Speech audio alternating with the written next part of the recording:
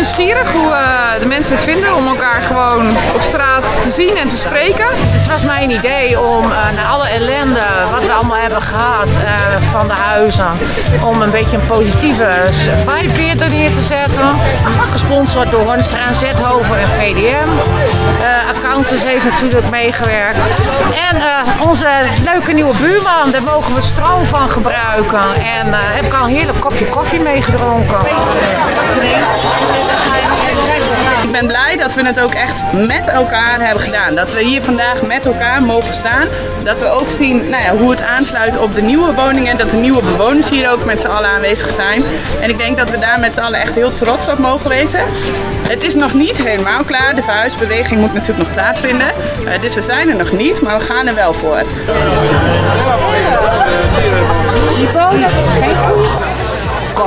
Vroeg, kom nou ook even naar Gewelderland om even te kijken hoe het met ons buurtfeest is. Leuker dan dit kan niet. Precies wat moet. Het initiatief is geweldig natuurlijk, hè?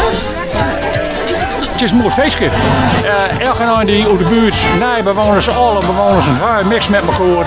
Leert elkaar een klein beetje op een andere manier kennen. Het initiatief is voor mij voor 200% school.